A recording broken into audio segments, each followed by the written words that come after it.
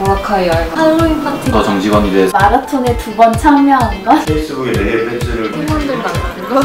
워크숍을 갔을 때 PMD 배지 4개 딴 거? 어, 와이즈버즈 입사한 와이즈버즈 입사와 조카가 태어난 거 딸이 태어난 거 크리스마스 이후에 야근을 했죠. 남자친구한테 프로포즈 받았어. 여자친구가 생긴 게 가장 36시간 만에 퇴근한 거 결혼. 가장 기억에 남는 사건은 없는데? 로또 1등. 다이어트 돈 모으기 로또 당첨? 동아일보에서 행복한 가족 꼭 건강에 안정적인 결혼. 여행 다이어트 돈 좀 벌었어 독서요 남자친구가 꼭아 연매출 400원 영어.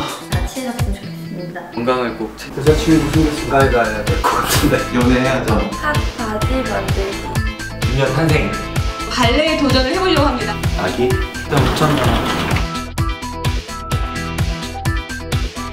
인어버즈란 나에게 무한도전이다 놀이터다 종착역이다 활력 생산소. 폭경합니다.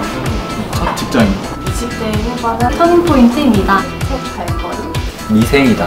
동화세다 에너지다 동아리 활동. 집 같지 않은 집이다. 푸근한 느낌 거울이다. 야근이다. 집 같은 곳. 공복 같은 존재다 나의 일상이다. 20대다 소중한 직장인. 가족입니다. 라이프 스타일이다. 주춧돌이다. 크리스마스 무한한 삶의 도전을 가. 희노애락과 같은 다크서클이다 직장 기회다 또 다른 학교. 직장이다 학교이다 놀이터다 소중한 것이 제주도는 예중의 마지막 결정이다. 시작과 끝이다. 사랑입니다. 종착 공포영화 로켓이다 새로운 기회 선물이다 즐거움. 둥지와 같다? 친구네요. 학교. 하루의 대부분은 애인 같은 그쪽이다 도로. 공감이다. 시험에 들게 하고 좋은 사람들을 선물하는 곳이다. 첫 직장 연결되는 점이 기회를 준 집 같은 존재다 새로운 동지 무신계야? 문신이 될 친한 친구 최고로 잘한 투자. 후배 직장인 흰머리가 일게 아니고 배움의 공간 희망.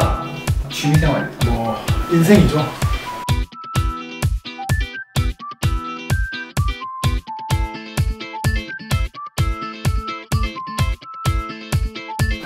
작년에 모두 수고하셨고 올 한해는 모두가 이쁜 연애 했으면 좋겠고 저는 여러분의 고생과 열정을 헛되이 하지 않기 위해서 죽도록 하겠습니다.